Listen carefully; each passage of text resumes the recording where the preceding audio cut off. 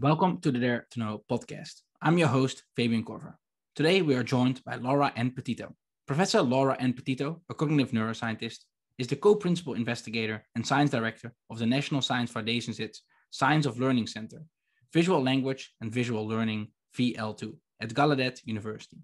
She is also professor in the Department of Psychology at Gallaudet, an affiliate professor in the Department of Psychology at Georgetown University, and the scientific director of her own Brain and Language Laboratory for Neuroimaging. She is known for her scientific discoveries concerning language and its neural representation in the human brain, how young children acquire language, the shared signed and spoken language processing sites and systems in the human brain, the bilingual brain, and the reading brain. I hope you enjoyed this episode. The Dare to Know podcast is now also available on iTunes and Spotify. Please check out the links in the description below. Professor Petitto, welcome to the Dare to Know podcast. Thank you so much. Thank you for having me yeah, thank, yeah, thank you so much for being here. I really appreciate uh, your time. So maybe uh, to get started, it would be really great if you could tell us a little bit about your background. Um, how did you get interested in the work of Noam Chomsky? Yes, um, there are several factors that guided my interest. Um, one has to do with uh, his domain of study, uh, the theory of mind, the theory of language, the philosophy of uh, mind and language, uh, the nature of thought. And um, it is impossible for anyone uh, to have been alive in those years, in the mid 70s, to not have heard of Noam Chomsky. And it's beyond that, not to have encountered him in just virtually everything you did. I mean, he was in our philosophy textbooks, our psychology textbooks, our anthropology textbooks, our linguistics textbooks. He was in our architecture textbooks. He was in he was in uh, treatises on dance and the structural essential components, the elementary structures of dance, um, from which all the variations uh, emerge. Um, he was um, in contemporary thought. He, he was alive and um, uh, not only, you know, nationally, not only at MIT and, you know, Boston and New York City, but it was global. I have colleagues all over the world, Hong Kong, South Africa. Um, my husband's from Ireland, um, people all over the world in that period of time uh, came into life and on the stage of learning with Noam Chomsky. So that's one factor. I must say that that actually has never changed. Uh, it is has persisted throughout all time. My own children, their textbooks across many different disciplines have him. He's made pioneering contributions that are essential to the nature of what it means to be human. But beyond that, um, there was this wonderful convergence of two other factors.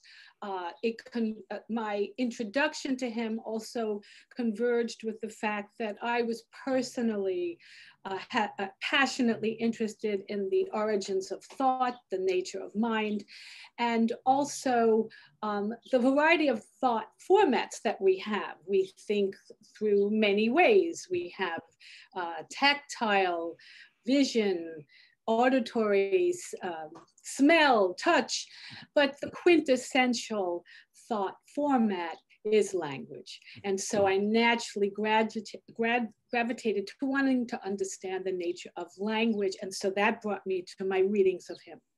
Then uh, I my third uh, influence, my third introduction to him was had to do with my day job. I was a um, uh, individual on a research project at Columbia University that was attempting to teach sign language to an infant chimpanzee named Nim Chimpsky, affectionately named after Noam Chomsky. And um, the looming questions that we were asking on this project had to do with fundamental uh, theories and articulations of answers that Noam Chomsky was espousing at the time. Uh, there was a human question of what makes our species different? Are we different? What do we share with other animals? What is unique to our species? And Noam answered the question with way in ways that were testable and in ways that the external world could evaluate. It also was an explosive time because there had been a long standing uh, tradition of behaviorism uh, in which and they too asked, uh, what is it that makes us special? And is there anything special about language? And there was a different answer. The answer was that it was primarily learned language, learned from environmental input. And so there was this electric historical time in which there were two primary, primary burning positions and questions and two very different answers. And so the goal, um, a challenge was to ask that. Well, if humans are uh, special, then aspects of human language should be unteachable and mm-hmm. unlearnable. Yep. But if we share human language in all of its complexity and all of its beauty with 100% with other animals, yep. then in principle, we should be able to teach our closest relative, uh, evolutionarily speaking, mm-hmm. we should be able to set up natural contexts within which we can facilitate their learning of language.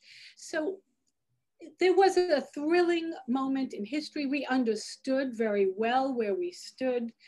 Uh, we understood the importance of the question. And it was um, a, quite a global excitement in uh, asking and answering what makes our species special or different or not. Yes, so, yeah. um, so my, you know, my, so my, my introduction to Noam mm-hmm. began in this trilogy of he was the looming leading feature in intellectual thought on language. I was fascinated in language, and I was on a language experimental project. And uh, that three way convergence uh, launched my uh, introduction to him. Uh, we also uh, um, began uh, communications and I later, later studied with him. And I, I mention that only to uh, emphasize that the connection with Noam and the inspiration from his brilliant theories and um, pioneering hypotheses was going to stay with me in my own science for the rest of my career. It was going to, uh, you know, launch questions and uh, ways of evaluating them uh, in very um, interesting and new ways to give answers that um, eventually in time brought us to understand that his uh, early hypotheses that he did largely with pen and paper and the power of the magnificent power of his mind were in many ways correct and um, in thrilling ways that teach us about what it means to have a distinctively human mind. No, that's really fascinating. Thank you for setting sort of the context uh, for this. And I would be also really interested to understand how uh, Chomsky contributed to architecture from the curriculum perspective. I haven't heard that, but that's also yeah, very tangibly. I mean, mm. just you can you know take this out, but um, uh, there was uh, his ideas were very concretely embraced by aspects of architectural theory. Mm uh, Peter Eisenman embraced the notion that a building is um, formed from an essential small finite set of units from which the building can generate uh, in a generative way the infinite number of buildings that we build and that the core syntax of a building is a essential fundamental element. That's just a very brief summary of the way architects incorporated Chomskyan ideas of elementary structures and generativity into something like architecture. Oh, that. Mm-hmm. Same thing with dance, that there are constraints on aspects of the types of movements that the human body can make from which uh, the infinite variety of dance is created. Mm-hmm. Uh, we also see that in the biological world and explanations of viruses, mm-hmm. uh, where there's a toolkit of um, defenses that we have uh, against viruses. And when a new virus comes in, we draw from that toolkit to generate an attack and solution on this novel intruder. Mm-hmm. So the analogies to Chomsky uh, began to be embraced in very disparate disciplines in ways that um, were powerful and tantalizing. Uh, clearly, he had happened upon, he had created, not by accident, an insight into the organization of biological life and the generativity in biological life that had a, a huge explanatory mm-hmm. um, power. And so, because of that, began to be embraced in different disciplines. It wasn't just a cookie cutter copying of his ideas mm-hmm, yeah. or a cookie cutter mentioning of ideas, mm-hmm. it was the actual use of his core elements in which by which he explained language into these other disciplines in where they used it as explanatory mechanisms for their own discipline mm-hmm, yeah. so it was um, uh, I mean, that's quite an influence. Yes, yes. Uh, we mere mortals should only have such an influence. And um, whether he was embraced or rejected, uh, all disciplines pretty much stood up and had something to say yeah. uh, mm-hmm. about uh, to him. And mm-hmm. that in itself is um, an incredible contribution uh, to the nature of our species. Mm-hmm. Yeah, no, that, that's amazing. That reminds me, like, yeah, you have to for sure, like, you can disagree or agree, but you have to for sure deal with the ideas, and that's a sign of a great uh, thinker. yeah, no, that that's certainly true. So, like, sort of moving on uh, uh, a little bit. So, uh, you know, today we're going to talk in particular about an article uh, that you wrote in uh, the Ch- Chomsky Cambridge Companion of 2015, uh, titled "How the Brain Begets Language." But you know, this article is covering a lot of ground, decades of research. so we'll try to unpack unpack as much as we can during this conversation. Um, but maybe to just start off, and you already alluded to it, your project with you know Nim Chimpsky, you know. Uh, can you maybe just introduce this project, uh, provide a little bit of context that would be really helpful? Yes, so um, in uh, Chomsky's theorizing, he suggested that aspects of human language were unique to the species. Well, um, as any good scientist would proceed, um, one must test that hypothesis. And this was a very uh, daring test.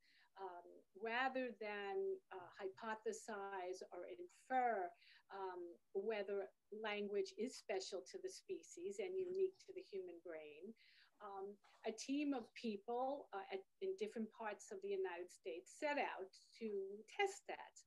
And um, uh, it was a very serious question that was not only a scientific question, but a human question what i mean um, what do we share with other animals? This is something that all of us ask. You sit at the table with your dog and you look across as you're drinking your coffee and you say gee what do you want? What are you thinking about? How do you see the world from down there? Um, what do you feel? What do you know? And and so that was a part of the human question. Um, uh, it, then there was the um, very exciting ideas that um, uh, if you wanted to study whether aspects of language were part of our biological makeup, uh, that it should act in certain ways. Uh, we learned from Eric Lenneberg, who wrote the famous Biological Foundations of Language in 1967, that, la- that complex behaviors proceed along a specific regular maturational time course. Despite varying environments, that if there are interruptions somehow in the path of that development, that the species overcomes it with um, compensatory processes, but still eventually uh, achieves a target state. So we had a blueprint of the types of evidence we'd be looking for in another species like a chimpanzee. And we had Chomsky's hypotheses about what makes us special. Mm-hmm. And so, and we had the human emotional, passionate curiosity of the nature of mind of animals.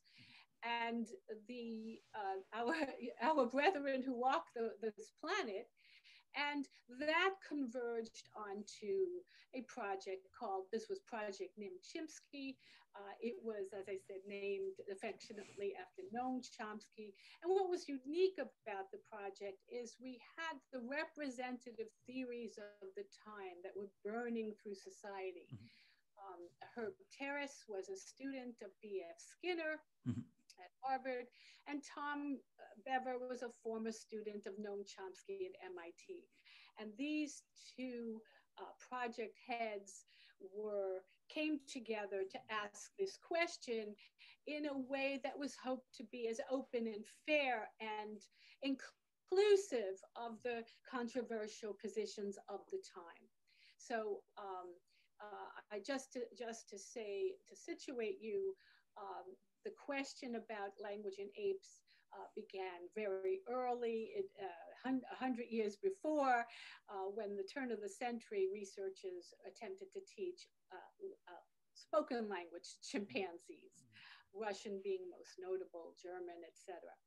Um, they did not succeed.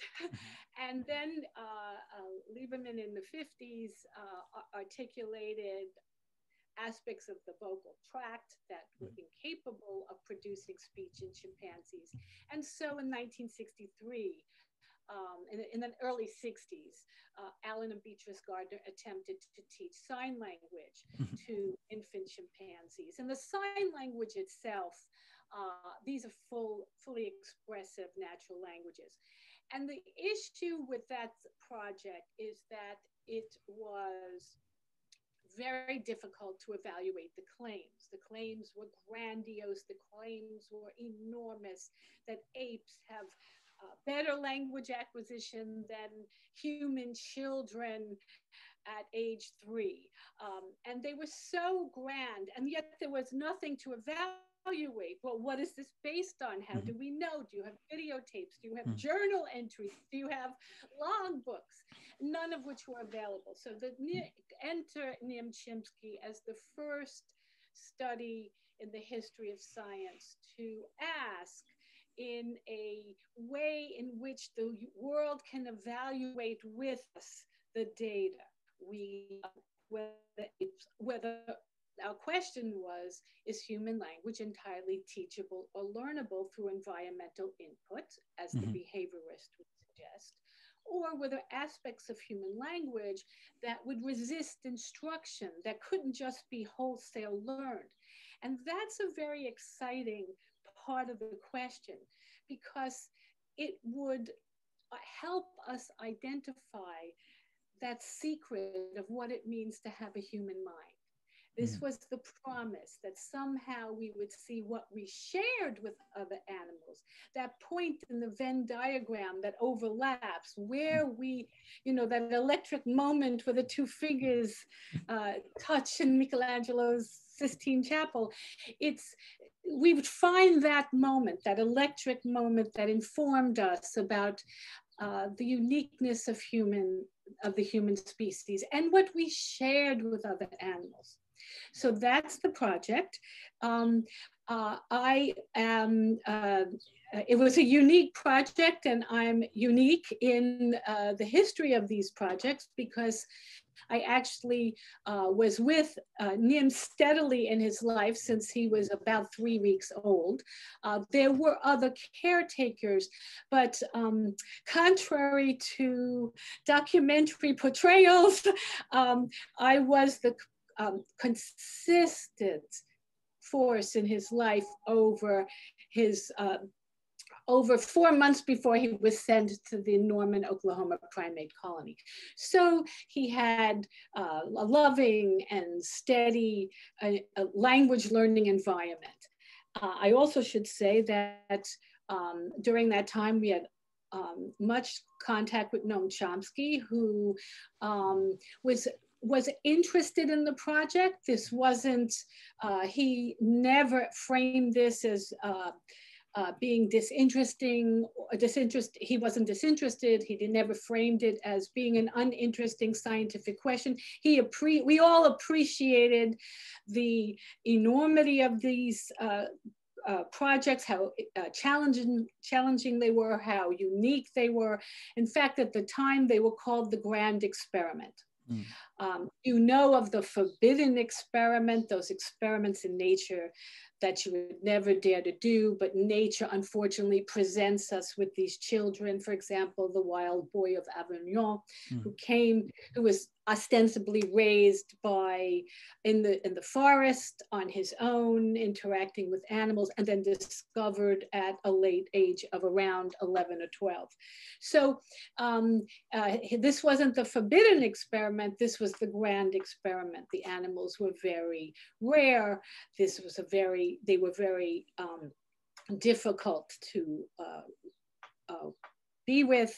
Um, I uh, as an aside, these are extremely dangerous animals. Uh, this is not the adorable, cute little animal that you see in their OshKosh B'gosh overalls. Mm. That um, they didn't just differ in the nature of their language, they differed in the entire complex of being their mm-hmm. social organization, the emotional organization, their linguistic uh, knowledge, um, their linguistic expression. So they differed on a variety of levels. And one of them, socially, was that humans did not accrue any points because you were the person who fed it and gave it access to free play mm-hmm. and you were with them every day of their lives there were still things that one could do that would cause the animal to turn around and attack to kill. Mm. Uh, and they are innocuous things to us. I mean, raising my body too quickly and going to reach for something and showing my back would uh, cause cause the chimp to go into a fixed action pattern whereby he would have the piloerection, the baring of the teeth, the hoot, the lunge, the contact, the rip, the tear, and the release. And it didn't matter that I was his surrogate mother, you know, uh, his primary teacher, and I lived with him. Uh, these were very dangerous animals. So these projects were difficult and not going to be a dime a dozen. We all realized the uh, singularity of these projects and how um, uh, special they were. And so Noam was very, you know, Chomsky was very uh, attentive, watching the results, aware of the analyses, um, uh, and um, you know eager to understand the nature of the findings and open and that openness uh, propelled and inspired us to uh, keep going because as I said, these were very hard projects to do.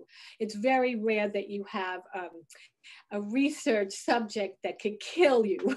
Uh, so um, uh, these could these projects can never ever be done again in uh, in contemporary science. There mm. are uh, rules about it and protection of the students and the workers and protection of the community, et cetera, and protection of the animals, rightfully so.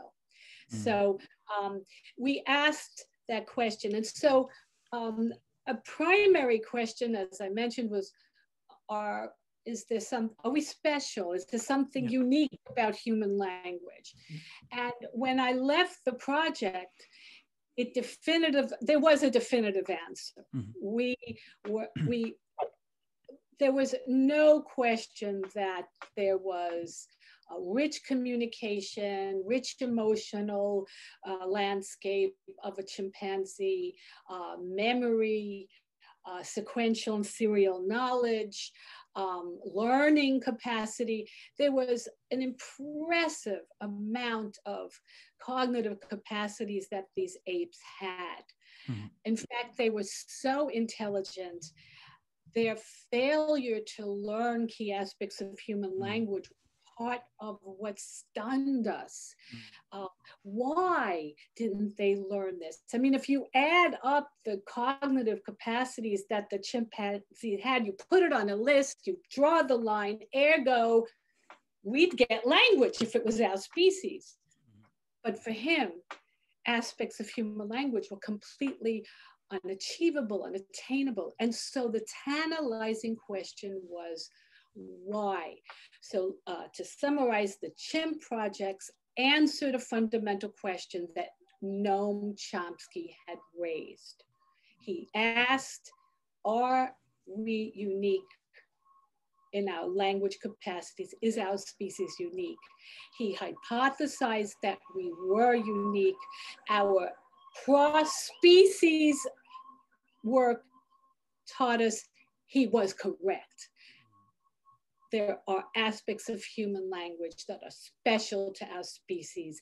Human language is special. That was a major conclusion of the eight projects. And it is a conclu- it, these are very controversial projects.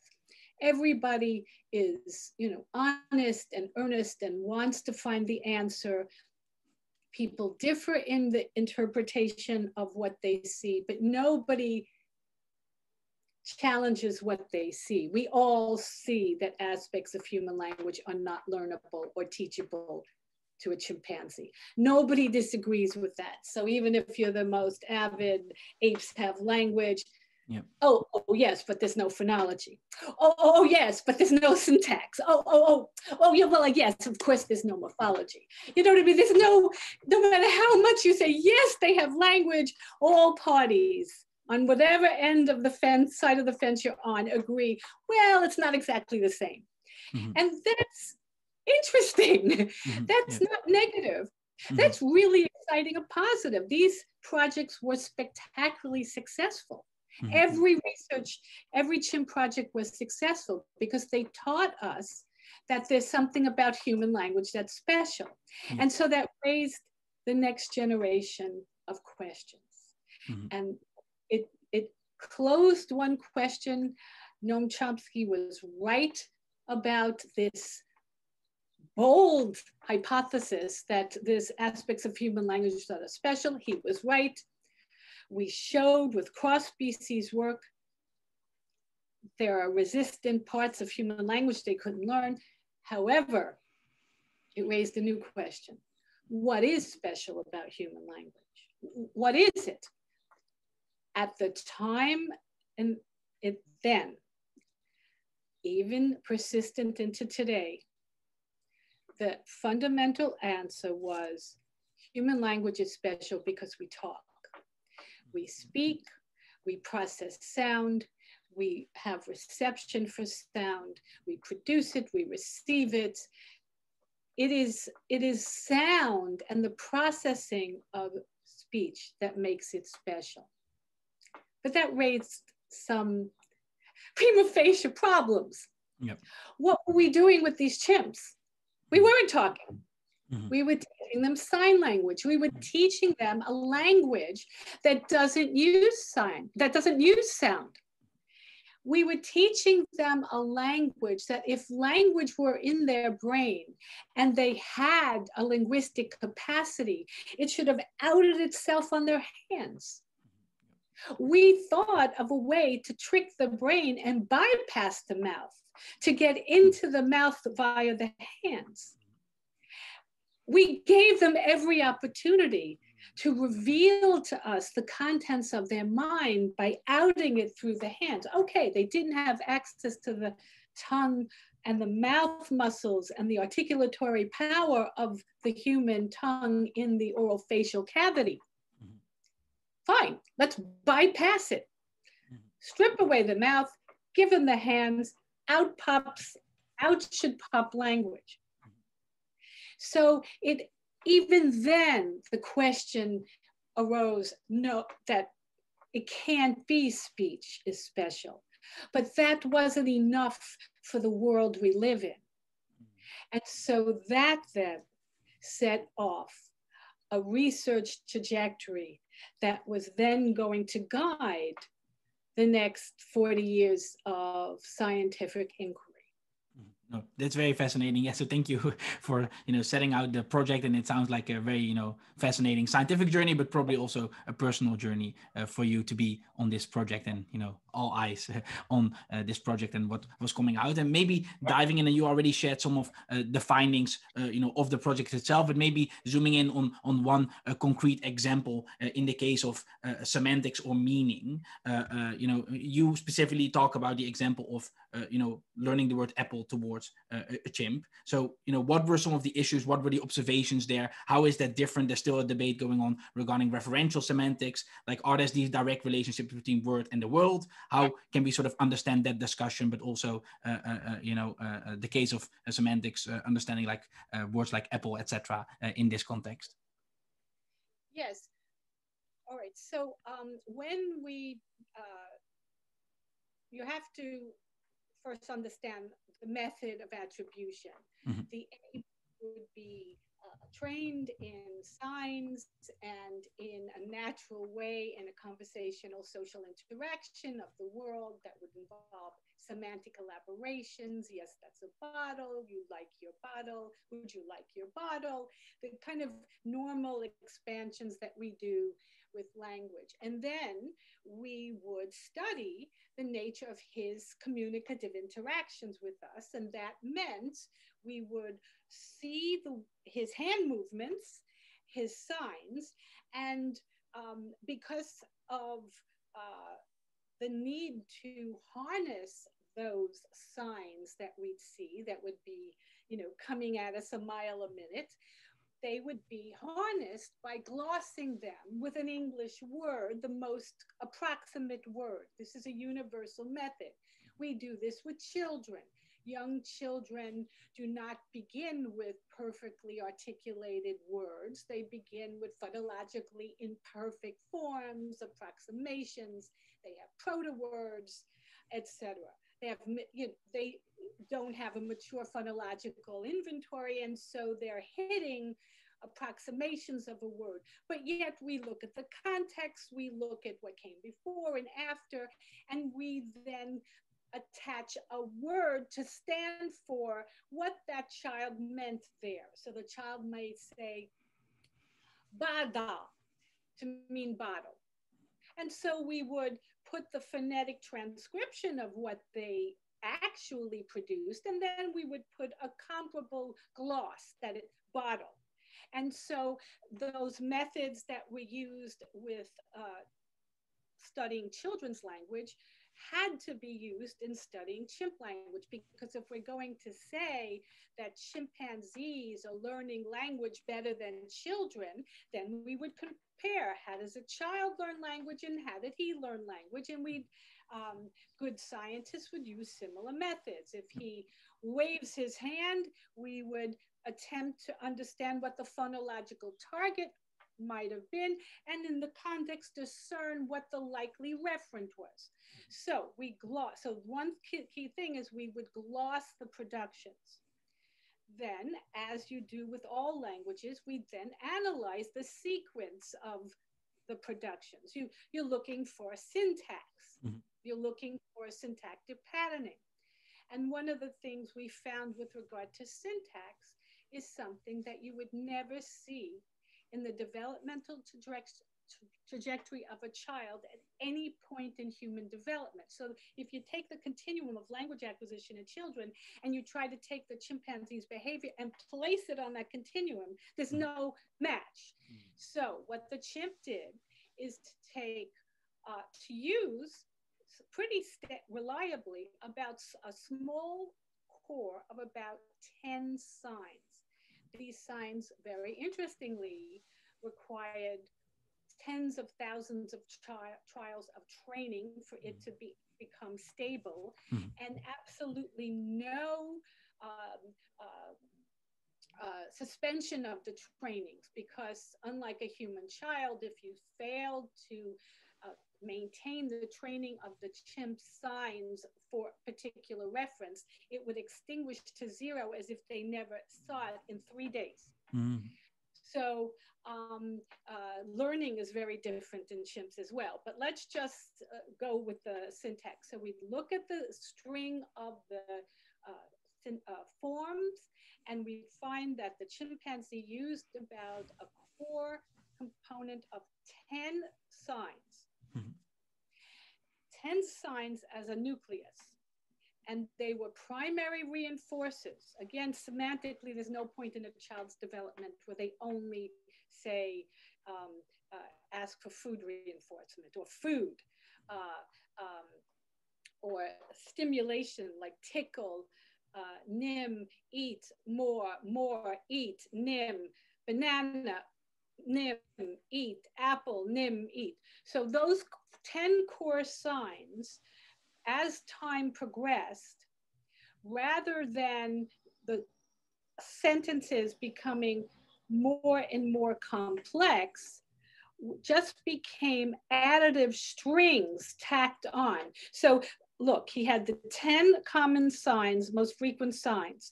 Now he's going to move from two sign combinations, nim more, to three word combinations. Superficially, that's what children do. However, that next word was not a novel word, a word that elaborated semantically on this two word utterance, but he reached back into his core set of 10 signs and he would add it on as an additive cumulative list.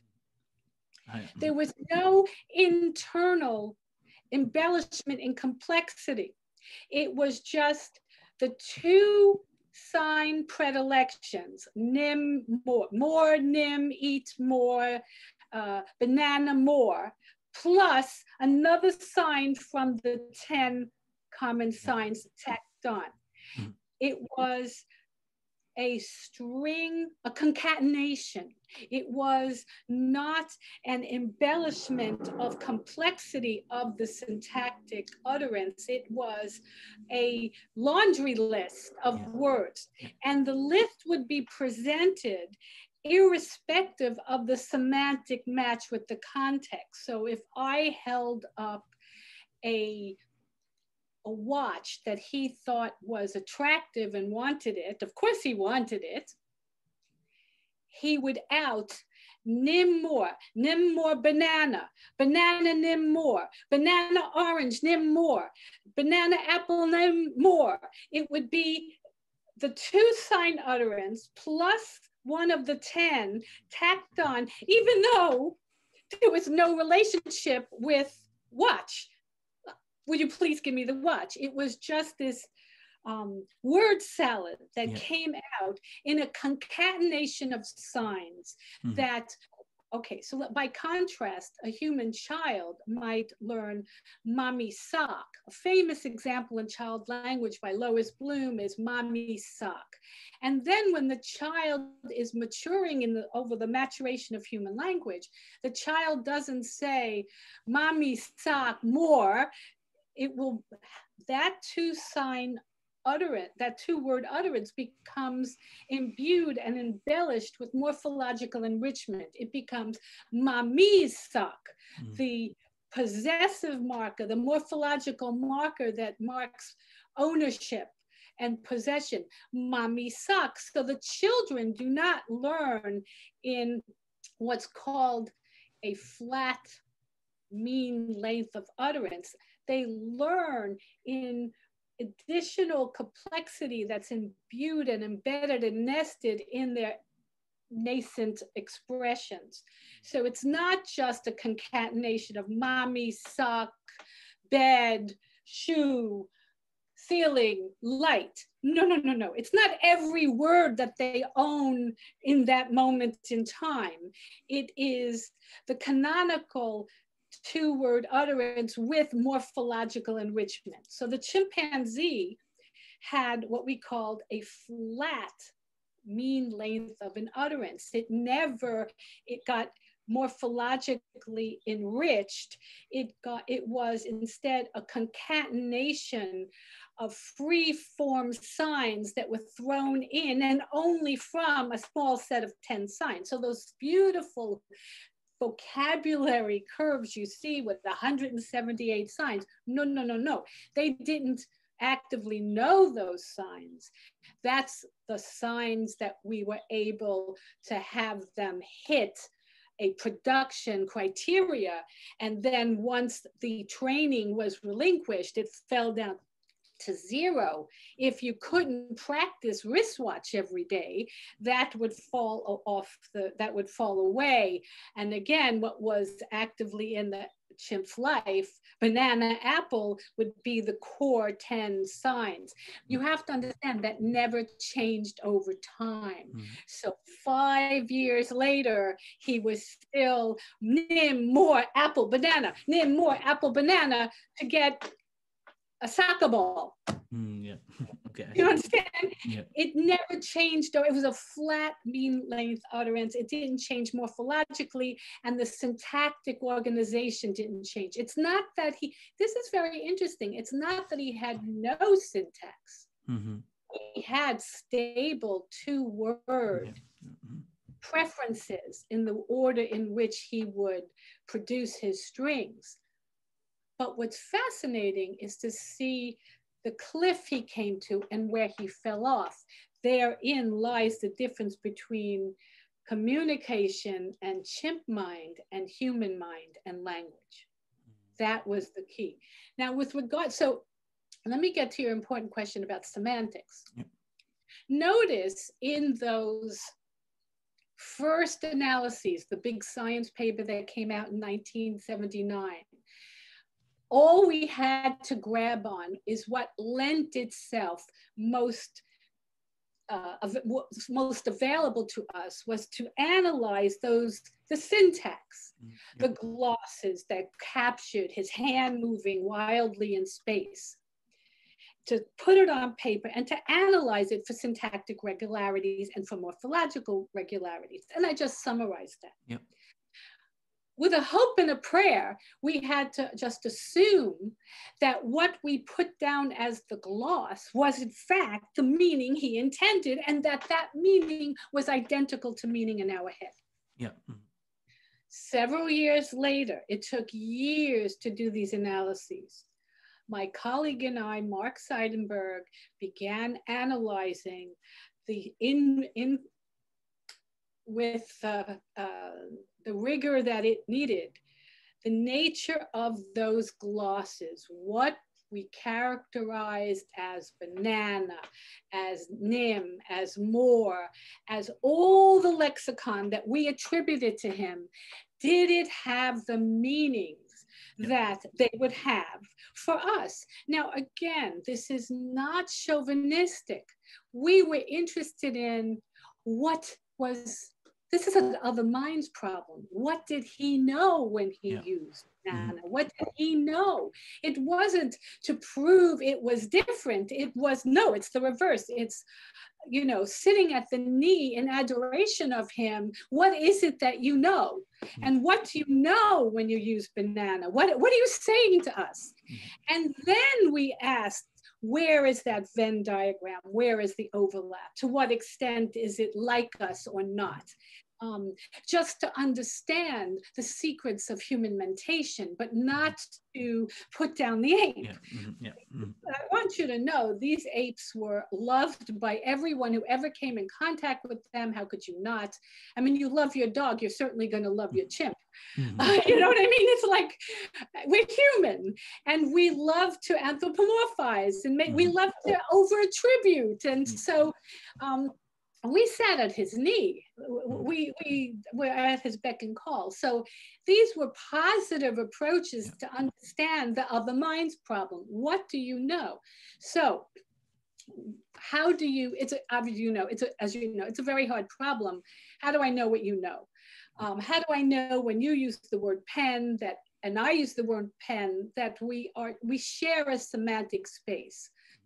Um, And, uh, you know, one thing uh, you also know about words is that um, a large portion of our words do not index literally a referent in the world. When I say the word pen, all I am saying is that this object is true of the class or kind pen in my head. I am, I, I, am implicitly making an attribution of its, of its class membership. Mm-hmm. This pen belongs to the class of kind pen. And um, in other words, our, this, this permits, we have, our meanings are coordinate, coordinated along class of kind. Mm-hmm. And we um, uh, implicitly share that, your brain and my brain, which can overlook accents and overlook language experience and, and see too the essence of the reference involved pen. Oh, you must be referring referring to the pen that. I use. And we will assume we have shared categories. Yeah. All right. And um, one of the things we do in child language to understand how a child knows the meaning of a word mm-hmm. is we do just that. We look at thousands and thousands of the child's usage of a form of a word like cup or um, blanket. And we look at the child's production and the range of reference over which the child applies that word. Yep. Then we go the other way. We look at the range of reference and we go back and see does the usage and the multiple contexts allow us to infer that the child's usage and meaning co coheres along kind boundaries. And what we found in child language, which is very, very fascinating, is that children don't come into the world entertaining all hypotheses about the meaning of a word. Mm. So when, you know, the precocious 11 month old baby is in its crib and mom goes to the refrigerator and says, Billy, would you like some juice? While she's opening the refrigerator, pulling out the pitcher of orange juice, taking his glass and pouring it into the glass and putting it down on the high chair. Human children don't look at this complexive snapshot of a potentially infinite number of meanings. Mm-hmm. I mean, just yep. think about it. Yep. Juice could mean the act of going to the refrigerator. It could mean the refrigerator. Juice could mean the pitcher. Yep. Juice could mean the act of pouring. Mm-hmm. Juice mm-hmm. could mean the liquid in the glass. Juice could mean the tabletop. Or it could mean this incredible liquid that's actually in the glass. So human children come into this world constrained in the hypotheses that they entertain about the meaning of the words. They don't look at this, this is like the Quine's rabbit uh, problem, right?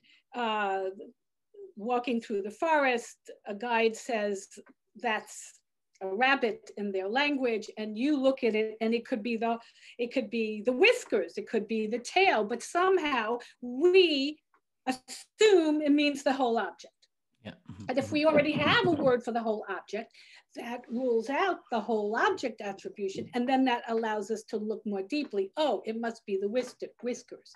So this is the type of analysis we did. We um, understood basic essential components of human language acquisition and how the child's hypotheses about the meanings of words are constrained.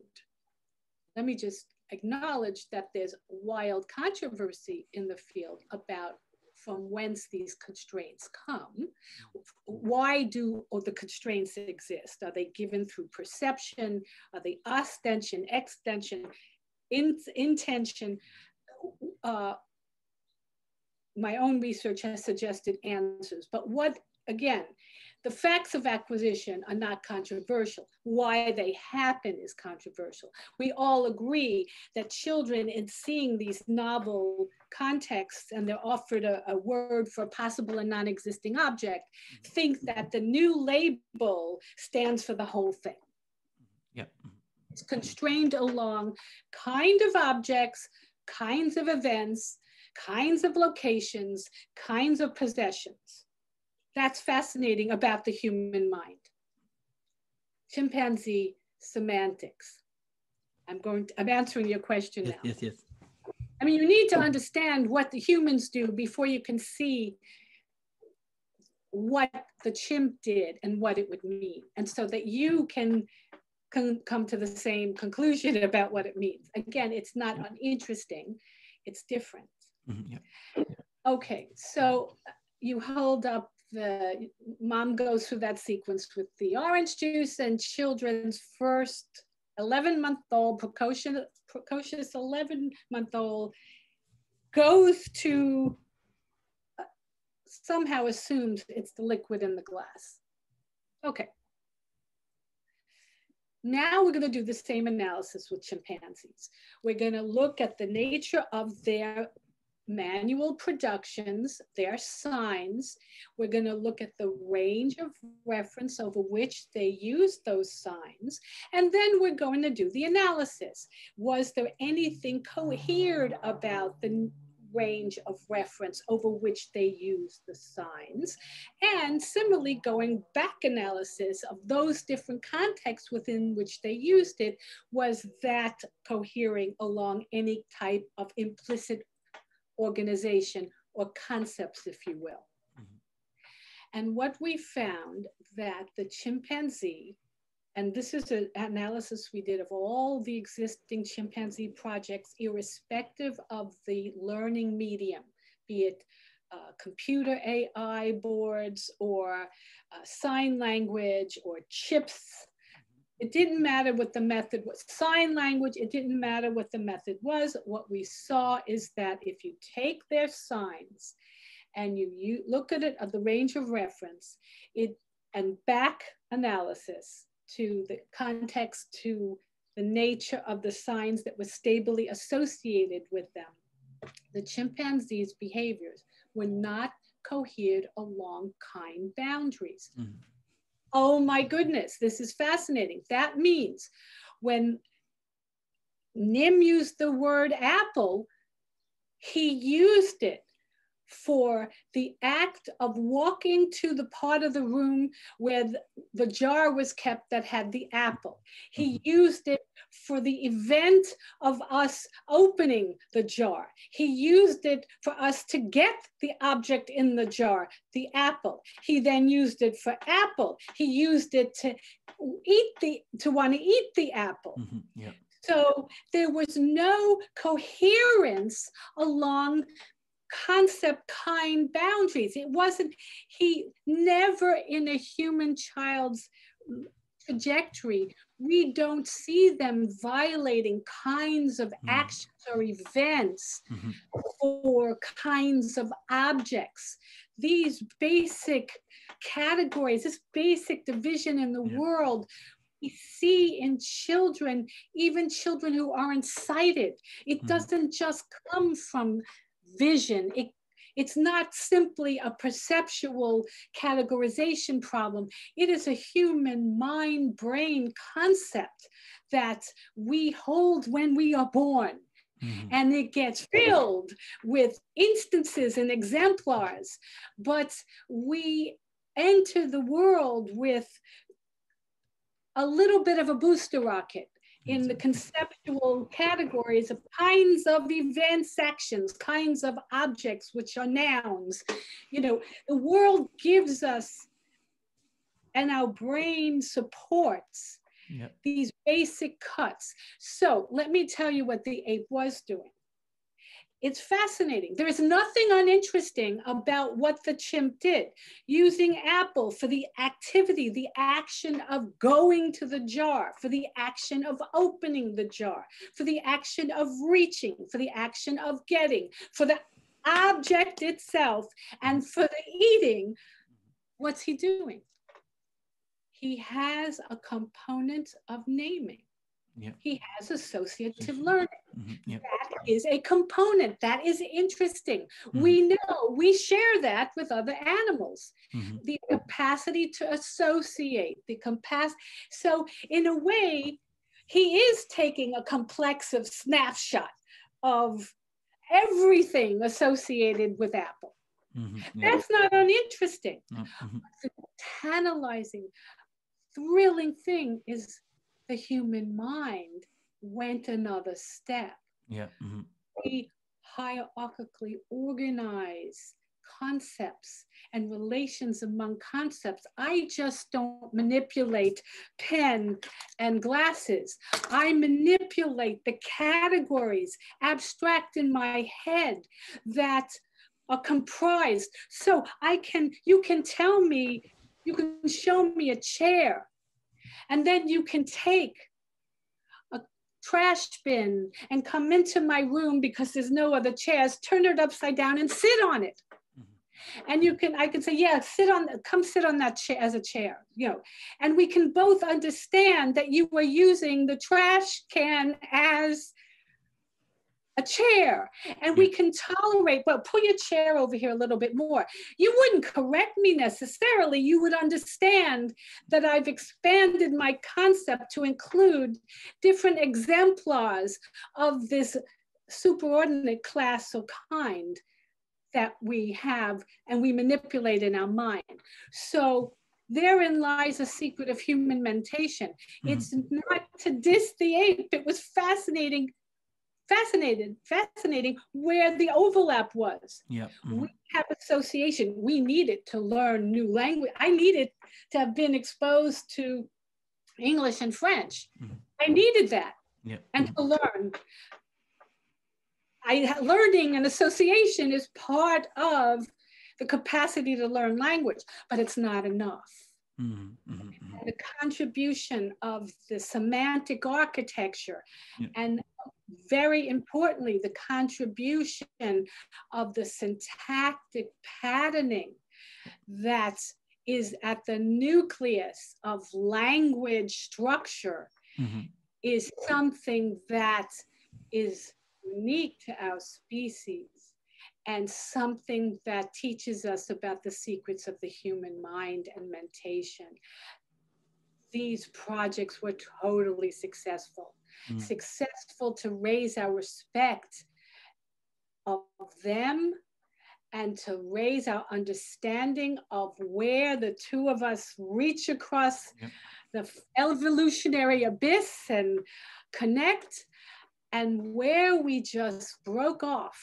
Mm-hmm. Yeah. Mm-hmm. mm-hmm. And, oh my God, they were totally informative in the history of our species and, and kept every promise that we made in the grand proposals mm-hmm. about. And again, uh, what they consistently demonstrated it, is that Noam Chomsky's prophetic hypothesizing and theory and um, argumentation on the power of deduction in addition to induction in the human language acquisition was going to be a core critical component that makes language unique and distinct.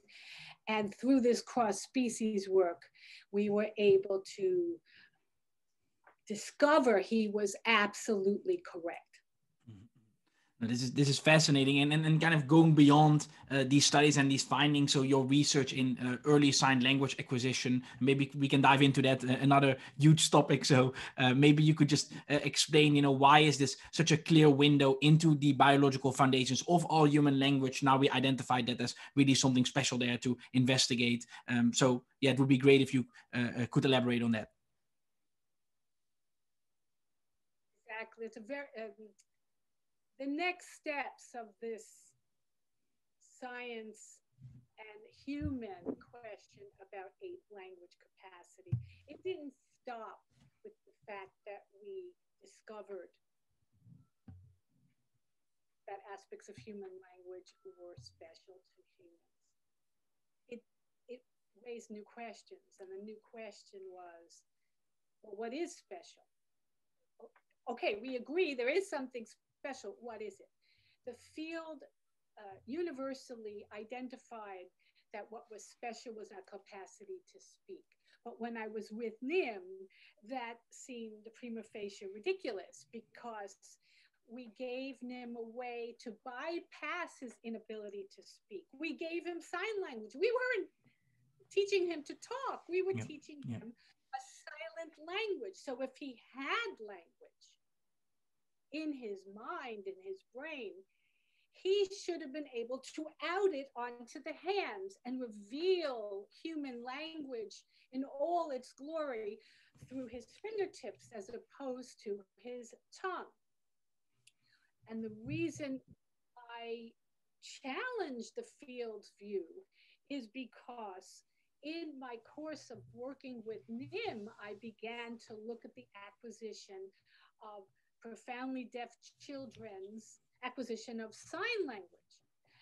And it was daunting to see that the children achieved each and every maturational milestone that we have attributed to speech acquisition in sign. And let me step back and tell you what I mean. Um, it is well known that children who acquire spoken language hit a variety of core maturational milestones in language acquisition universally on the same timetable across all the world and irrespective of the complexity or morphological or syntactic organization of the target language. Doesn't matter what the target language typology is, the human species early in life starts out with a similar maturational timetable.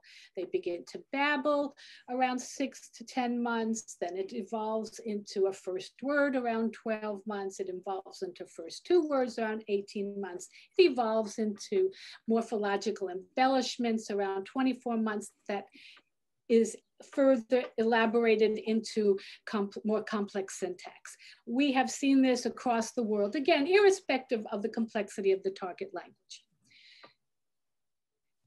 Why did that, why do we see that? The answer by the field was easy. That reflects the maturation of the orofacial region and the brain's motor strip control over the orofacial region to produce language Easy. That reflects the maturation of the auditory system to perceive and decode the sound stream of language. So the answer to why human language progresses the way it does was situated in the human capacity to produce sound and to perceive sound. Mm. So now we have an experiment in nature let's take the brain, strip away speech, strip away sound, and give it the hands. Mm-hmm.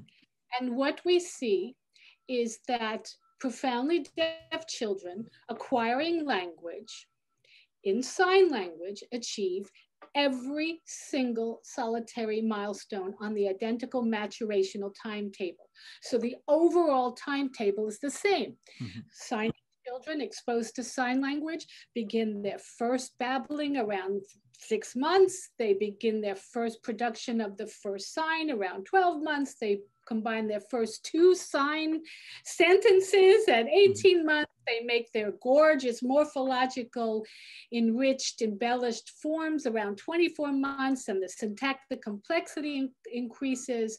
They make the same type of errors children mm. make in early language acquisition, where they over regularize the language and produce errors that overextend anything they could have ever heard. No adult who signs would make those kinds of grammatical errors, but these children make the errors parallel with spoken language acquisition. So there we immediately have a challenge to the hypothesis that speech is the driving motor of human language acquisition. So it can't be, we can rule, we can we have evidence against the hypothesis that the acquisition of sound production and sound reception is the motor driving human language acquisition. Because we've taken, we've done the experiment, we've stripped the human being of speech and sound, and what we see is they acquire the identical milestones in language. Now let's just throw the dice a little bit more. Let's take a bilingual child a child who's being exposed in a bilingual household. Uh, mother signs uh, a American Sign Language and father speaks. There, and then you have a child who's born, and this is a hearing child. So you, uh, one hypothesis, if speech is special and primary, that child should turn away from the sign input, even if it's the mother and glean any morsel of sound that it could get. You may see an asynchrony in their achievement of the maturational milestones. They may favor speech, hit every milestone in speech, and sign language might lag behind or be different in some very clear way. These children, if speech is privileged may turn again from the sign and show us asynchronies in their acquisition of the milestones in spoken language. And what we find is these children achieve each and every milestone equally, identically in sign language and spoken language. There is no preference for speech. There is no asyn asynchrony in the maturation of the language. There's no asynchrony in the achievement of the timing milestones. And they have been compared as control groups to 15 different bilingual language pairings. 15 hearing children learning spoken language bilingual context English, Spanish, French, English, Russian, Spanish, Russian, English, all different Chinese, English, 15 different pairs of bilingual hearing children learning languages. And the reason you pair them is because you want to vary the typological complexity and organization of the target language. Mm -hmm. So you have highly inflected language like Chinese, and you have a relatively naked inflected language like English. And so you're, you're trying to pith the different language, target language typologies and see if that influences. The reason is that American Sign Language, Sign Language are highly, highly inflected languages. And they have you know, fusional and agglutinative morphologies, very similar to the uh, uh, highly inflected languages of spoken language families they're different from the typology of English. So maybe uh, that might have contributed to the acquisition. No, they're equal and they're equal to other bilingual children.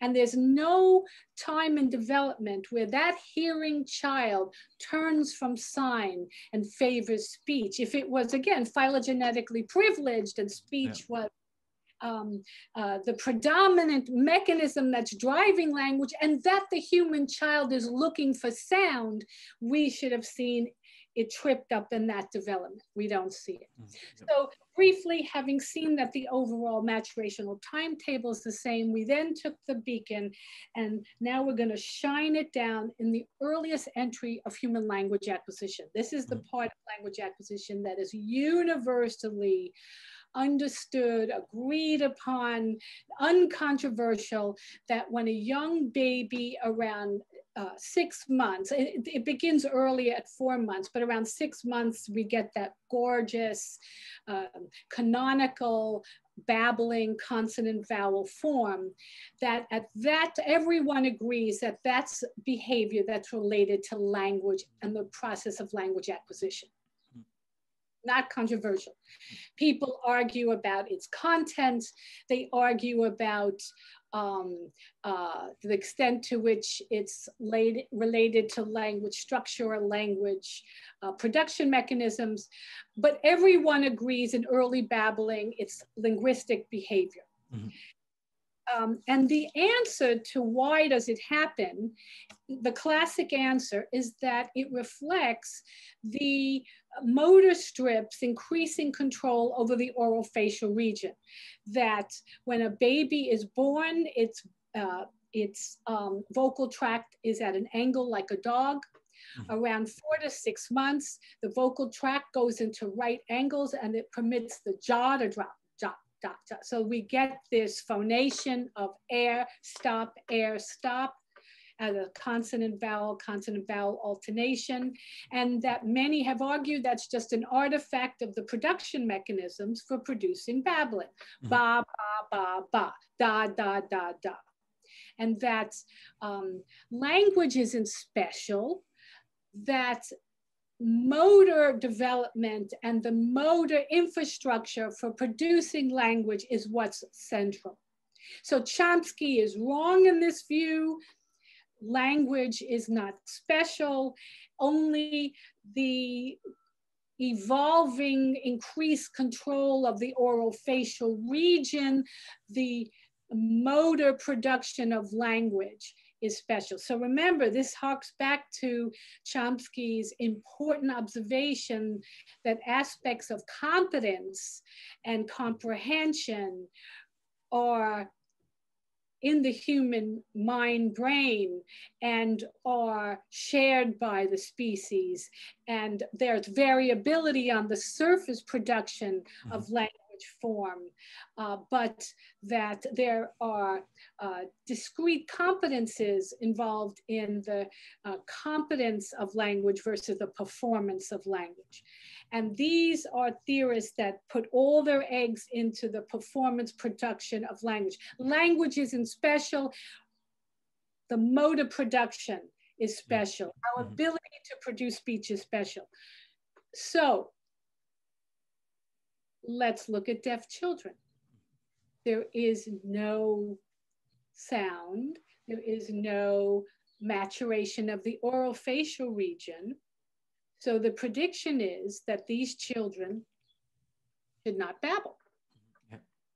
Not hit that developmental, maybe they'll share first word milestone with a hearing child, but they certainly won't babble on the hands and sign language. Mm-hmm. And what um, we found is that's exactly what happens. Profoundly deaf children exposed to sign language produce homologous behavior to babbling. It's not just similar. In fact, it's utterly fascinating. It's the human, so in, think of what the brain's doing.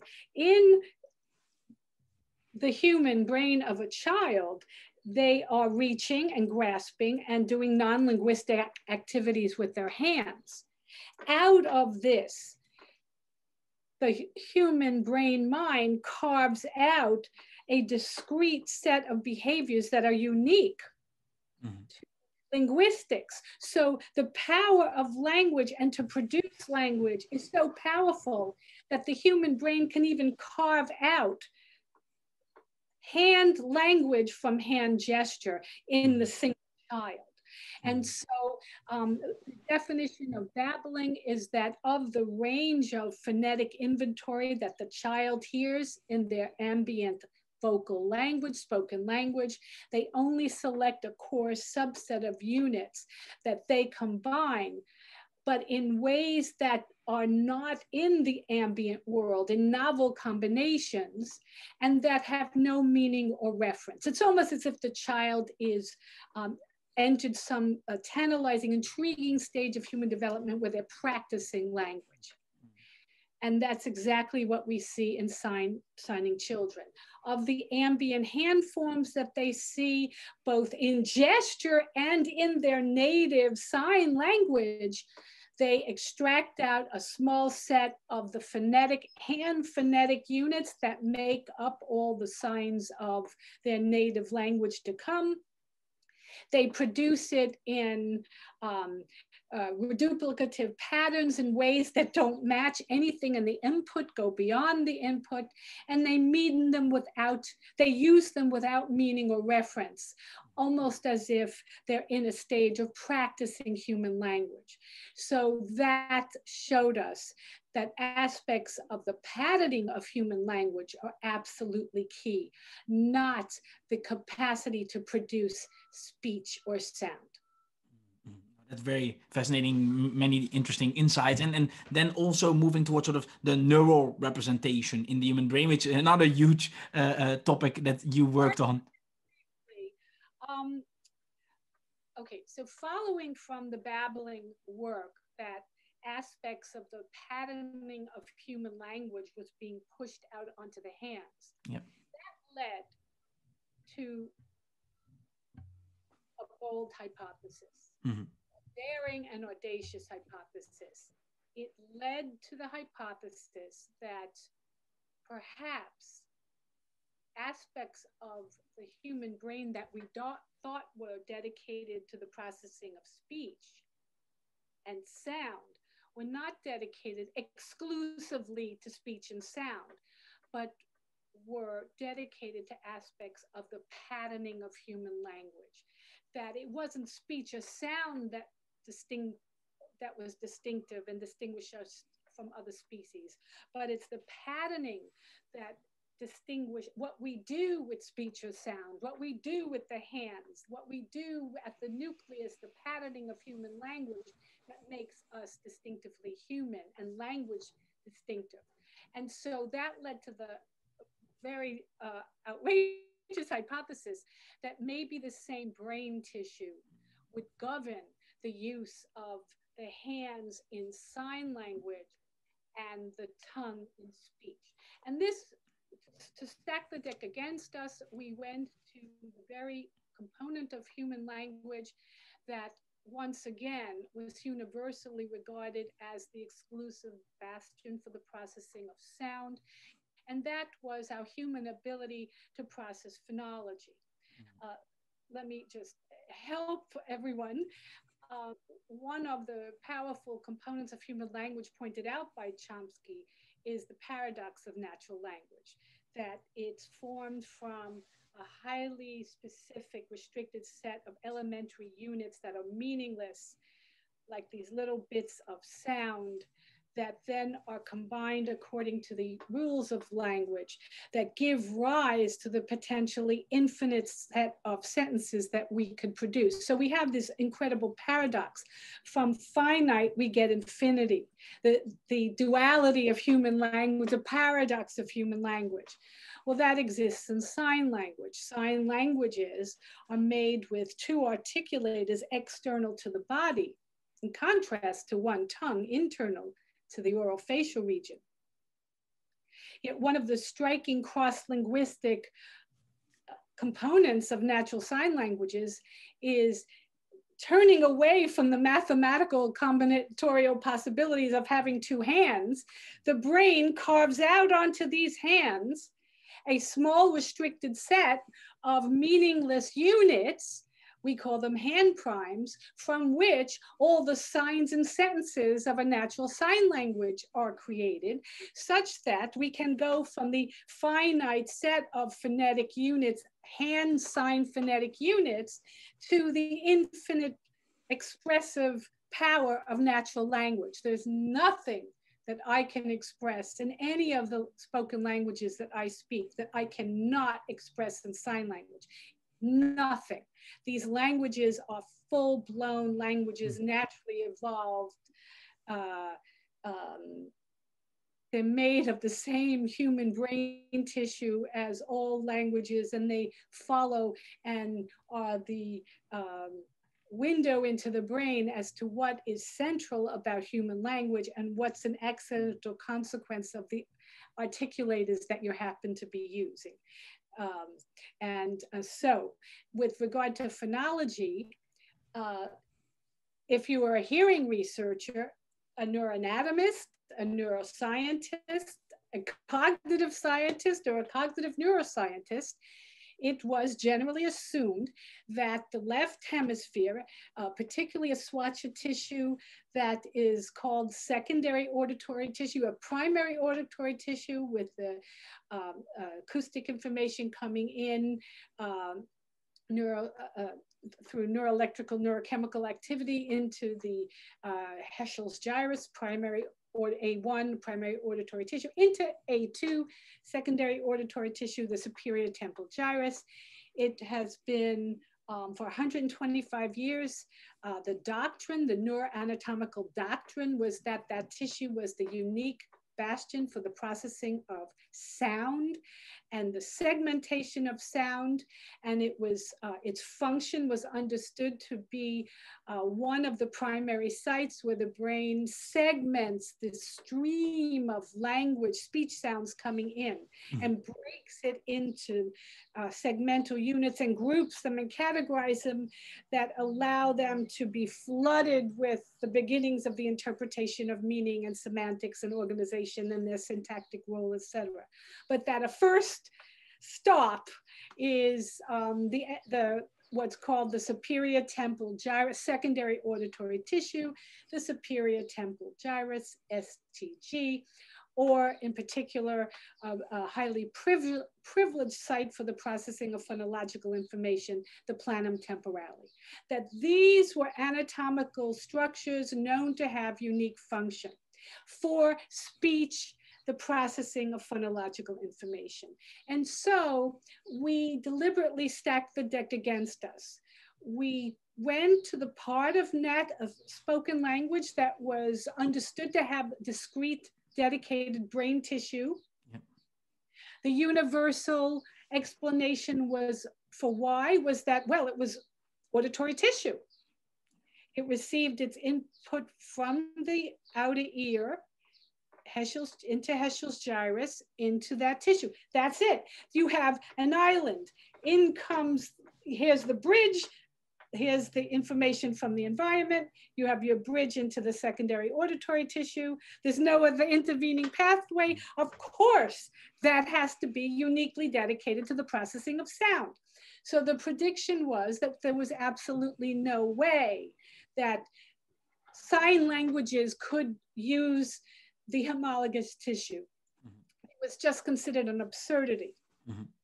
And so we took um, phonological units in sign language, and we did a very um, elaborate, sophisticated study on the question. And what we found is the punchline is that uh, the profoundly deaf signers processed the hand units in their native sign languages in the identical brain tissue. Again, this is not an analogy. It's not like north of it or next to it or near the hands and not near the mouth representation on the motor strip. It was in the identical tissue. We had a variety of sophisticated ways to definitively understand where we were in the brain uh, with morphometry studies, voxel by voxel studies to um, ensure that we were actually standing in the identical part of the brain that is was in the as uh, analogous to the hearing controls. And we found that there was not only activation for the phonolo phonological components of sign in that phonological tissue that was thought to be exclusive to speech, but that we also found that semantic processing, the search and the retrieval for the information about word meanings, mm -hmm. which the left inferior frontal cortex, uh, that the LIFC was also the site for the process of processing of semantic information in a totally silent language mm -hmm. that has no sound signature. Mm -hmm. So these signed languages opened up an entire world of power and discovery about the essential components of natural of human language. Here was evidence powerful evidence that the brain isn't discriminating your sound your sign. Sign language we're going to shunt you over to the right side of the brain where we process gesture. Mm-hmm. no if you're gesture, but you're linguistic, we in this tissue are going to take you and own you and processing you. And that tissue proved to us and the neural systems, it's not just a, a phrenology localization position. Those neural systems are not dedicated exclusively to the processing of sound. Speech doesn't make us special. Sound doesn't make us special but the existence of natural sign languages redefined the nature of human language and our brains. Our brains are dedicated to aspects of the patterning of language, irrespective of whether it's on the hands in sign language or the tongue in speech. And from the maturation studies, the structure studies, and the brain studies, the human brain demonstrated to us that it doesn't care if you give it the hands in acquisition or the tongue in acquisition. It will out itself onto the hands and language of sign, or it will out itself into onto the tongue if you give it the tongue. And if you give it both, it will equally, without discrimination or asynchrony, learn both as effortlessly as a child in a Spanish English home from birth. Mm. Yeah, yeah, no. so um, uh, again, it led to the insight uh, that Chomsky had hypothesized decades earlier there was, uh, at the time, uh, the power of proof in the real world had not yet existed. The, what he did was prophetic. He articulated what the system must have to be in order to achieve human language he told us the definition of what the target state was. He identified how it was possible for the language to be learned and the logical uh, requirement that the deduction had to be involved in human language. No child could just, as a tabula rasa, sit there and blankly memorize and learn all the sentences that they'll ever utter in mm. Across their lifetime in the first three years of life. And I mentioned first three years because that's a milestone mm. when children, all human children of our species achieve a stability in the basic knowledge of the language. Of course, it's refined over time, but in the basic elements of the language they have now mastered by that age. And in that short period of time, he showed us why it was logically impossible for a mm-hmm. child to have uh, learned all of language in that period while we had to have basic structural predilections that then get um, uh, these parameters that then get established, set by virtue of the nature of the structure in the input and how uh, that can yield the generativity that we see and the creativity that we see in natural language. His hypotheses and his hypothesized met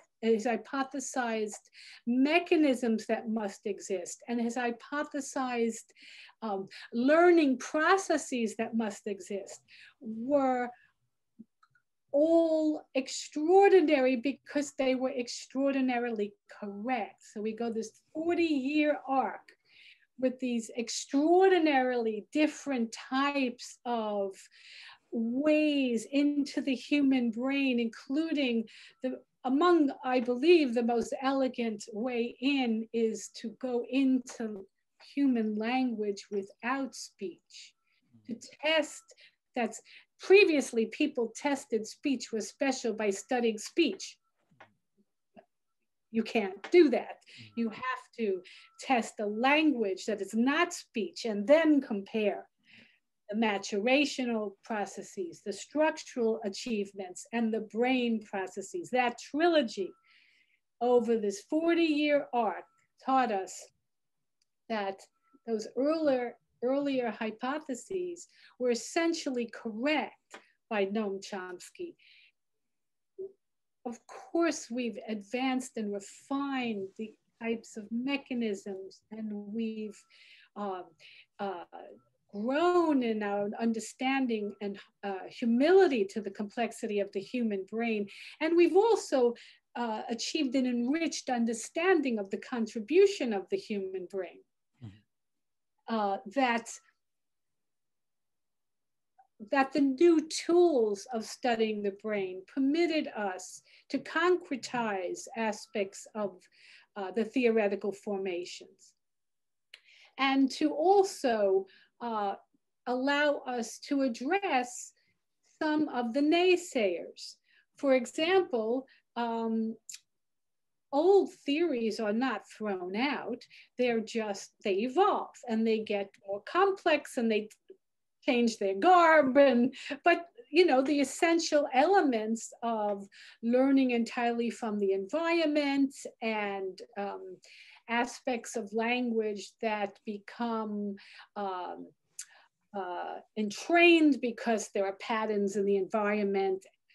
These sophisticated views, they'll still put patterns and language out in the environment, and then they get pressed onto the child's brain. These are nice growth, nice tools that we have to address them and to set some of them aside.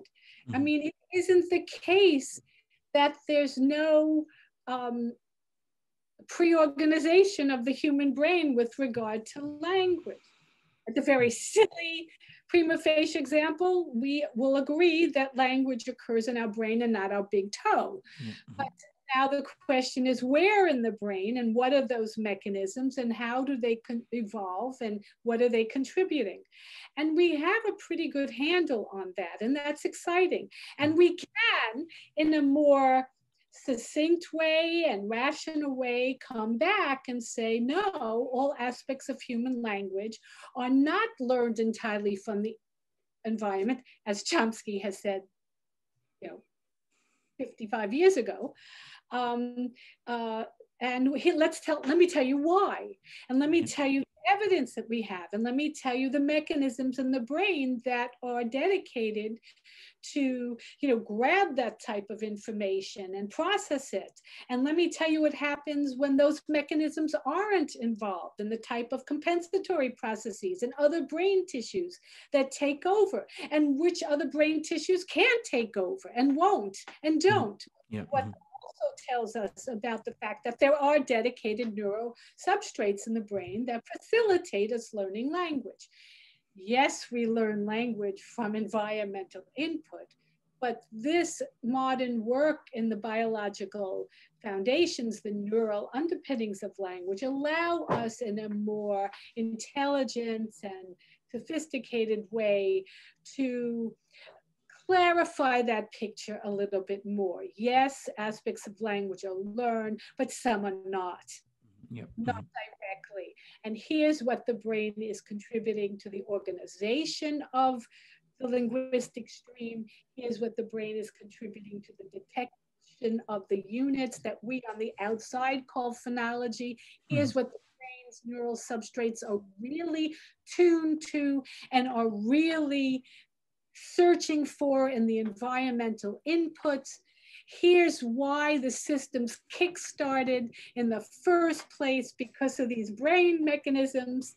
And here's what we do need from the environment. So it allows us to um, fine grain uh, yep. analysis and fine tune our understanding beyond mm. just nature nurture. We have much more advanced, well beyond the pendulum of nature nurture. We really do have uh, a rudimentary understanding of what the human species is born with, why we're unique in that, what's in the environment, what's the relationship between learning and the neural substrates that are in a ready state to learn language, and to boost direct the child into its cognitive and conceptual world. Mm-hmm. No, this is very fascinating, and thank you for uh, you know uh, uh, running us through decades of uh, work and, and research, and and maybe now uh, sort of moving uh, towards the final question. So more focused on you know the work that you've been doing at Gallaudet, um, you know how that relates to sort of you know Chomsky's views, but also maybe more looking towards the future. What does the future hold? What are some exciting areas of research that maybe extend beyond the insights that we've been discussing? That would be also amazing to hear um, you know, as I said, there was a, a progression, a stepwise progression of questions that uh, lead us, uh, that uh, re result in where we stand today. Earlier, it was what, what was language special. Then it was, well, if it is special, what is special? Mm-hmm. Then it was, well, it can't just be that speech is special. We now know that the brain has privileged sites for the processing of the patterns of language. And now we're at the point, now and into the future, we stand at a moment to understand what exactly are the nature of those patterns. Hmm. What are those patterns? What is the brain set to? What is the in that booster rocket that kickstarts the process? What's the triggering mechanism? What's the sensitivity? Uh, one of the things that um, uh, is uh, one of the discoveries, recent discoveries in my own lab that's leading to further analyses is um, we believe that uh, through a very complex series of experiments, that um, aspects of the neural tissue uh, that we have traditionally on the outside looking in called the phonological language processing tissue mm-hmm. is not set to sound, but instead is set to highly specific rhythmic undulating patterns of about a hertz and a half. It's going to change over time. That time envelope is going to expand in the first year of life. But the child's peak sensitivity to that rhythmic undulating pattern does what?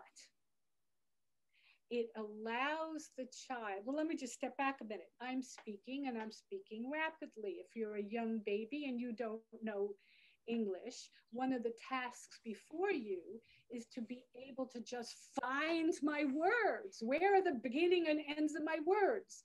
And this even happens to you as an adult. If you're an adult and you're in a country that you don't know the language and you want to ask, someone comes up to you and all they're doing is asking you for a pen, you can't even, your sensation is that they're speaking too quickly and you can't even find the beginning or ends of the meaning. You can't even find the beginning or ends of where the words are. So a baby is faced with the same challenge. It pops out of the womb. It's faced with natural language around it. It has to find the segments from which the words will be built and reference can be solved, and the infinite number of sentences can eventually be created. It has to find the words in this ling continuous linguistic stream. So what we have through a variety of experiments, we have discovered that aspects of the brain tissue we thought was dedicated to sound instead is dedicated to highly specific rhythmic undulating patterns, temporal patterns in maximal contrast. And that sensitivity to these chunks, these fall rise chunks allows the child to break into that linguistic stream and pull out the phonetic syllabic unit from which they can build their words and solve the meaning of reference in the first place because mm. you can't know the meaning of ball unless you can find ball in the sentence. So if I say, that's a ball, look at the ball, look at the ball, can you see the ball? What a pretty ball. You're a baby. You have to be able to pull out ball to understand that it's that little round thing that just rolled across the floor. So nature gives the child a sensitivity to highly specific, maximally contrasting, rhythmic, undulating temporal bursts. And anything that falls in that time window is a candidate for analysis to find the phonetic syllabic unit. You can get a monosyllabic word in there. With that window of, sensi of temporal sensitivity, the baby can find the word mm. and can begin to solve the problem of reference, the meaning of words. And so this is the booster rocket into the language acquisition process. It is in concert with other mechanisms that are evolving simultaneously. This is not a stepwise sequence. First, they're interested and sensitive to segmental properties of words, and then they get the meanings, and then mm -hmm. they get no, no, no, no, no, no. Mm-hmm. Children are is highly sensitive to emotional cues. They're sensitive to the um, organization, social organization around them. They're sensitive. Their brain is grouping them mm-hmm. and these segments that are coming in. Mm-hmm, yeah. But their brain has a sensitivity, not so much to sound, but to the patterns, the patterns at the nucleus of human language. Hmm. This is what, this is the concretization, the physical instantiation of Chomsky's hypothesis that the, we are sensitive to the patterns of language and the patterns of language are sensitive, are primary. Here it is, the brain's from the get-go, the brain's booster rocket, a trigger that sends the child into language acquisition by being sensitive to what? To the patterns of natural language. And we've identified one initial nu rhythmic nucleus, a bundle of about a hertz and a half. However, that's going to quickly open and more more complex and more multimorphemic and complex phrasing and clauses are going to be and are going to be in that purview, that window over which the child will then do its statistical analyses across the stream. But people who depend very heavily on, oh, well, that's easy, the child learns grammar, the child learns patterns by listening to the patterns in the environment and through entrainment they're laid down in their brain, don't have a mechanism to explain where the child's sensitivity to patterns comes from in the first place, what its window of sensitivity is, and what part of the brain is doing it. Again, I just want to make sure this is not about taking Chomsky's theories and finding the neural substrate or correlate of them. This is not reductionism.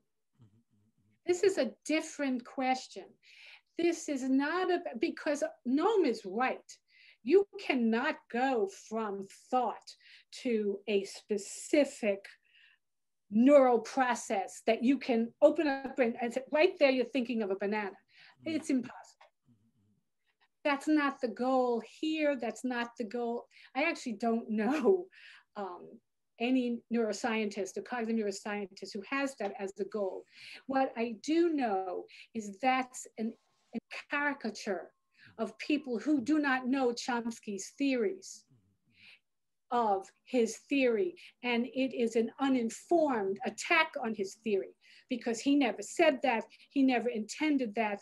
And those of us who do neural studies, that's not our goal. Yeah. Mm-hmm. So, what is the goal is our desire, um, which is a healthy goal in theory building. That when you build a theory, that in principle, on the list of criteria that you want it to meet, it one of the entries should be that what you postulate is biologically plausible of the species.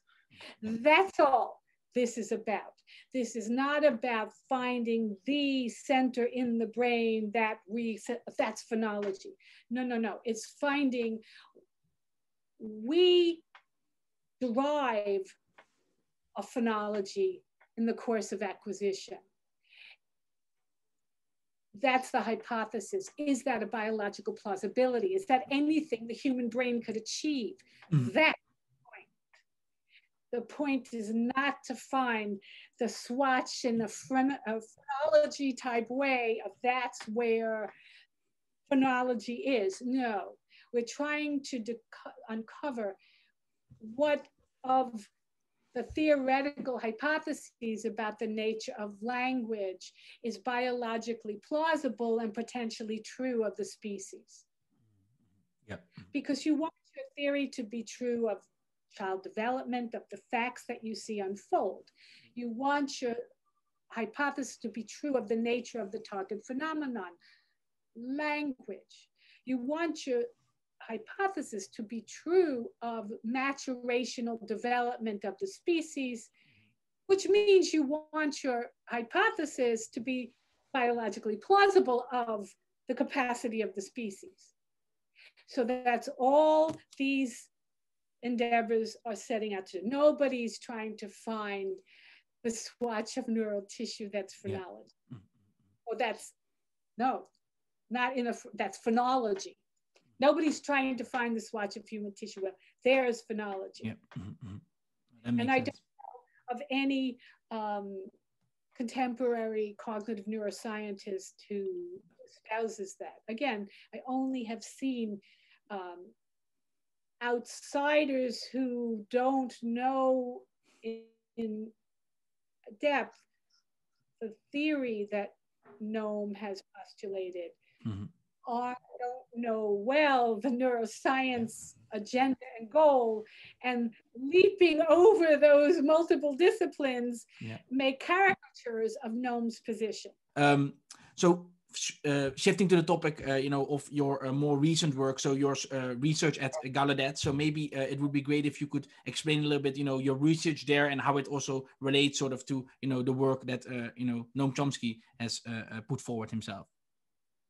Yes, I am at Gallaudet University. I'm a cognitive neuroscience there in um, at the head scientific director of the Petitto Brain and Language Center for Neuroimaging. And um, uh, being at Gallaudet has been one of the most uh, thrilling and powerful experiences of my entire life, uh, unparalleled.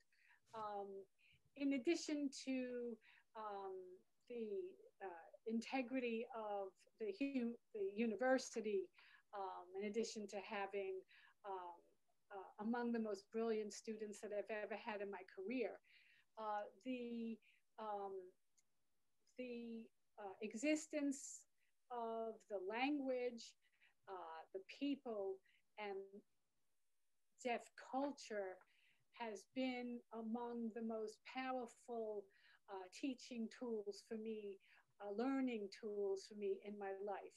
Um, uh, we have uh, understood well that deaf people have their own culture, mm-hmm. and that cultural diversity is um, humbling uh, when you live it and um, through the grace of their inclusion permit my uh, time there. I'm very fortunate that I have been invited into this very, very uh, distinct place. Um, but there's more. Um, being there has opened my mind to the contributions of um, diversity and the necessity for diversity in science. Mm-hmm. Um, we make so many assumptions that fall out of the modality that we're in. Um, we uh, speak language, but the structure of human language had to pass through constraints of the mouth. Mm-hmm. What if, let's just a thought experiment, what if aspects of human language that stems from the brain and driven by the brain as it's coming out of the mouth mm-hmm. got altered, reshaped, that somehow the modality reshaped what mm-hmm. we think is a central part of the brain. So here we are for thousands of years studying the product of what comes out of the mouth, mm-hmm. thinking we're getting into something core about the brain. But what if the aspects of the modality changed that. And so we're picking up artifacts of transmission of the mouth. Yeah. Mm-hmm. Sign language in stripping away the mouth and the and, and sound allowed us to see what about language got pushed out onto the hands and through looking at that convergence of language from the mouth and language from the hands those two trajectories of information allow us to converge on what are the essential central properties of language in our mind, which is exactly what Chomsky wanted to know. This is the way we were able to find out this information. But it, so this the the modality free properties of human language teach us about the essence of the human species mind. That is a gift that we never would have seen if we just looked for the where the quarter dropped under the lamppost. We had to strip away sound to see the essence of us. And more than that, my brain studies at Gallaudet have been eye opening. There are aspects of my speech brain, my brain that was raised in speech, was attenuated and lost processing capacities that I could have had but because of the switch to this one modality, aspects of my brain attenuated down to a of to the auditory modality. But when you strip that away and you see what we lost, that gives you a contribution to the neuroplasticity of the human brain and the cognitive and semantic processing of the human brain that are unique and unique to the deaf culture, and that we never would have known if deaf scientists weren't participating in this. In this, deaf scientists, I learned that deaf scientists have to be involved, not to be politically correct, but because their contributions to discovery uh, see things that I don't see. I don't see because it's been attenuated out. I, I hear better or auditory discrimination, but I don't see things. My brain lost that capacity. It was given over, uh, taken over by aspects of my sound processing, the perspective that my deaf scientists offer to me allow us as a union to make discoveries about the species that we never could have made before. There can, I, I am now, science should not proceed without diversity all diversity. Science should not proceed without deaf scientists at the helm of um, scientific questions about the nature of the mind, contributing right there at the front line, because the discoveries we have made about the nature of our species, I would have never made if I was out there with only my hearing peers. The, the neuroplasticity of the brain, the brain shift over to the left hemisphere the wedging open of the brain's lateral capacities through the exposure of visual sign languages. We thought that was a given that the left hemisphere, left hemisphere does the lion's share of the processing of language. Surely the right hemisphere is involved, but that the left hemisphere does the lion's share. We thought that was a biological given. It's not. It happens in ontogeny in early life. If you're exposed to sign languages, those the richness of that visual experience wedges open the brain's process, the dual hemisphere processing capacities, and the brain doesn't shut down and attenuate to the left hemisphere you use more, you have more, you engage more. These are things we never would have discovered if it wasn't for the participation and the diversity that I was afforded um, at Gallaudet University. No, yeah, that, that's very important. So yeah, thanks for sharing that with us and making that statement. So, uh, uh, Professor Petitto, this has been you know amazing conversation. As I mentioned, like I've learned a lot over the past uh, two hours. So uh, yeah, I really thank you uh, for your time. So, do you have any any parting words? I want to thank you so much. Uh, it's really um, my joy and honor and privilege to be able to share this. Um, we did travel a, a, quite a number of years, but I was so happy uh, to have you as my audience member. Uh, it was very engaging and.